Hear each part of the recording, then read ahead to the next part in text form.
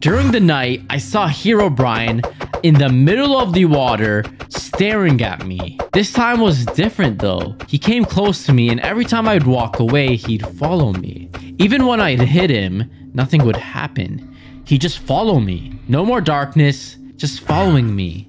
Something wasn't right about this. Soon enough, I went back to that darkness that I'm used to.